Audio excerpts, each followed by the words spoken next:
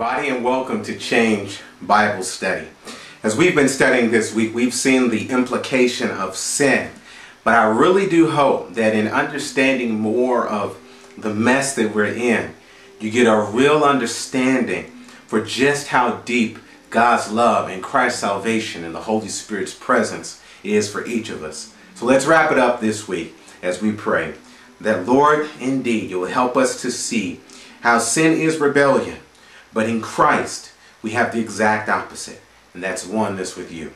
And this is our prayer, we pray it in your name. Amen. All the way from the very beginning, in Genesis chapter 3, what is understood as the fall of man. In Genesis chapter 3, beginning there in verse number 1, the Bible records the story that the serpent was more cunning than any beast of the field, which the Lord God had made.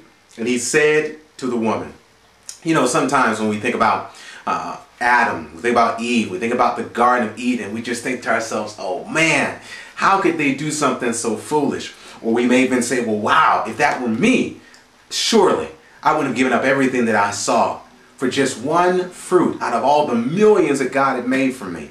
But can we really answer that question that way honestly? Can we really say that we would not have fallen? See, we understand that sin was not just a fall in Adam and Eve, but understand that it was a, a universal um, derailing of the unity that God had made.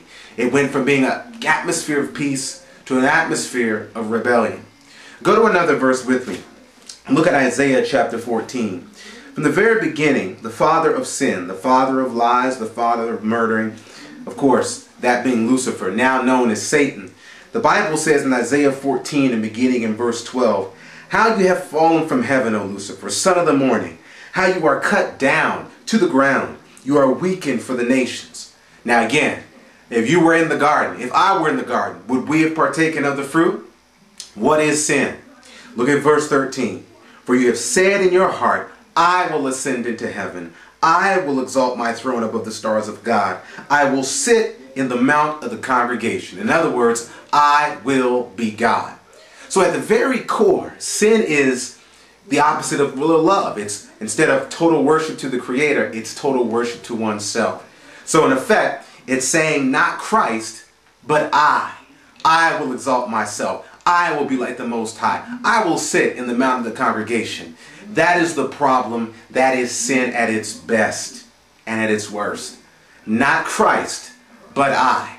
So the very answer, which we studied yesterday, and the only answer to this problem can be found in the exact opposite. And that rather than saying not Christ, but I, the saint says, no, no, no, no, no. Not I, but Christ. See, in Revelation chapter 14 and in verse number 12, the Bible declares it this way by saying in Revelation 14, 12, here is the patience of the saints. Here are those who keep the commandments of God and have the faith of Jesus. See, the devil came down having great wrath to try to implant in us an attitude of ingratitude.